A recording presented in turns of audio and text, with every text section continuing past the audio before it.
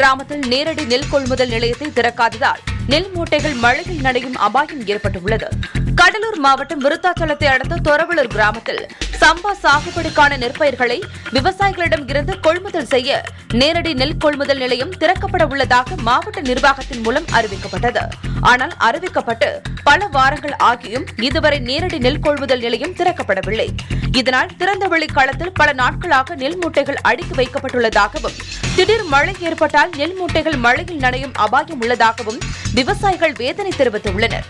எனவே தொரவலூர் கிராமத்தில் நேரடி நெல் கொள்முதல் நிலையத்தை விரைந்து திறக்குமாறு விவசாயிகள் வலியுறுத்தியுள்ளனர். இவ்வளோ இவ்வளோ கஷ்டப்பட்டும். நாங்கள் அந்த நெல் விலை வச்சோம். அரசு நல்ல ஒரு ரேட்டுக்கு நேரடி நெல் கொள்முதல் நிறையா திறந்து எடுக்க முன் வர மாட்டேங்குது. இன்னமும் இவ்வளோ நாள் ஆச்சு. இன்னமும் எங்கள் சைட்லாம் பார்த்தீங்கன்னாக்கா நேரடி நெல் கொள்முதல்கள் இன்னும் சரிபர செயல்படலை.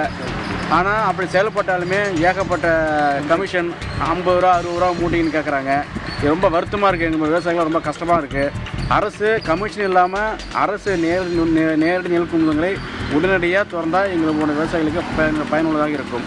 நாங்கள் விவசாய நெல்லாம் கொஞ்சம் கஷ்டப்பட்டு தான் விளைய வச்சுருக்கோம். விவசாயி கொள்முதல் நேரடி கொள்முதல் திறந்து நெல்லெல்லாம் சரியான விலைக்கு நல்ல விலைக்கு எடுத்தால் ரொம்ப விவசாயி சந்தோஷமாக இருக்கும். அது ரொம்ப பார்த்து முயற்சி பண்ணி நேரடி ஏற்பாடு பண்ணணும்.